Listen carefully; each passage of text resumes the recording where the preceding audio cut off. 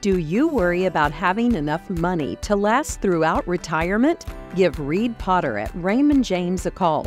Reed has 26 years' experience helping folks enjoy their best life in their retirement years. On Friday, December 15th at approximately 8:30 a.m., AutoZone in Coal Run was victim of a robbery. The suspect has yet to be identified, but allegedly robbed the store at gunpoint. The individual's identity as well as the stolen contents are unknown. Kentucky State Police Post 9 are currently investigating the suspect's identity and whereabouts. So far, there are no reports of any shots fired or injuries and no signs of property damage. Mountaintop News will provide updates as they become available. Reporting for Mountaintop News, I'm Nick Collum.